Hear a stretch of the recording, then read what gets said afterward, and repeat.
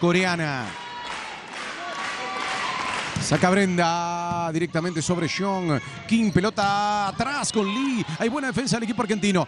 Pelota alta, llega Bendarek. Defensa surcoreana y posibilidad de contraatacar para Kang.